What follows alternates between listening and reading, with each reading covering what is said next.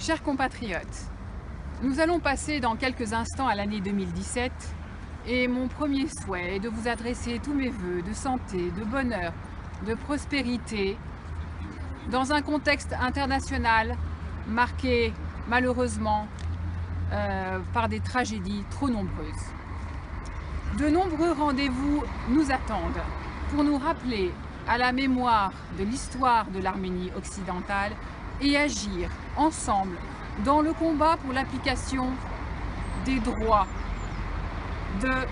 du peuple d'Arménie occidentale.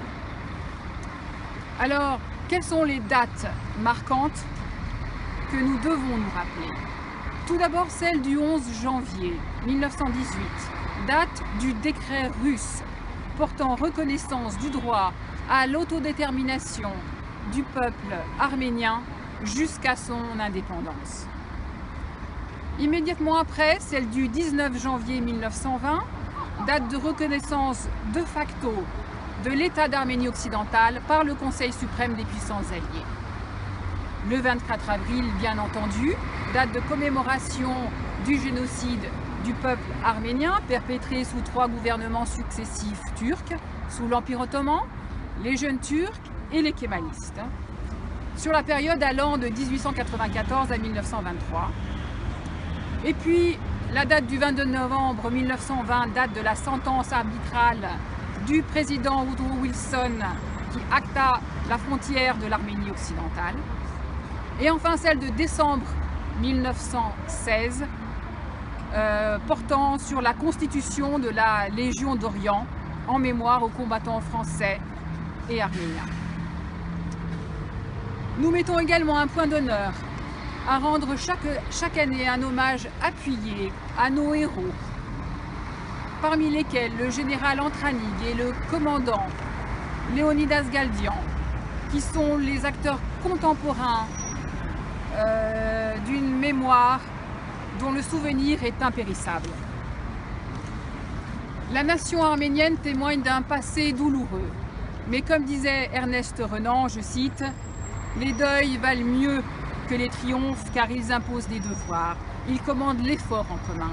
Et c'est précisément cet effort en commun que nous menons tous les jours, et notamment au sein de ces instances à l'Organisation des Nations Unies, dans le combat pour le rétablissement et l'application des droits légitimes de la nation arménienne.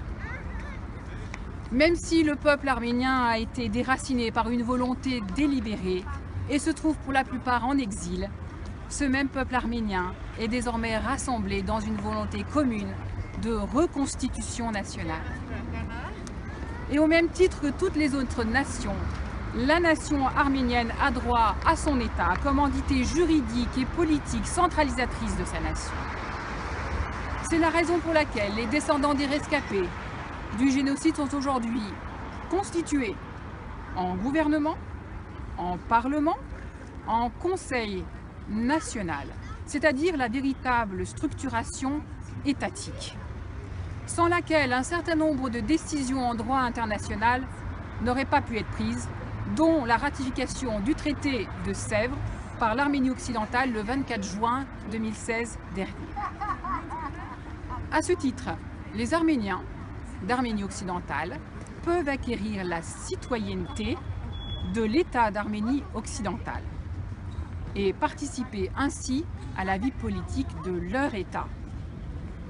Alors si je devais formuler un vœu aujourd'hui, euh, pour l'année 2017, ça serait de dire au peuple arménien, nous ne devons pas oublier la terre, notre terre ancestrale, la terre de nos pères.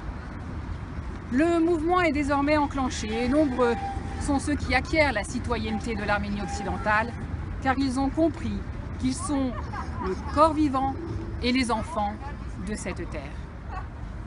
Et ils ont compris qu'en tant que peuple, ils ne pourront survivre et perpétuer leur savoir traditionnel, leurs expressions culturelles, s'ils sont déracinés tel un arbre. Peuple d'Arménie, devenez citoyens de l'État d'Arménie occidentale. Inscrivez-vous dans cette démarche fière, citoyenne, consciente de ses droits légitimes. Car devenir citoyen, c'est renouer le lien avec cette terre sacrée. C'est en réalité un acte sacré. Le drapeau d'Arménie occidentale flottera un jour. Ce n'est plus qu'une question de temps. Parmi les autres drapeaux des nations, ici représentées, des nations libres, souveraines et indépendantes. Vive les nations libres, souveraines et indépendantes. Vive l'Arménie occidentale, libre, souveraine et indépendante. Je vous remercie.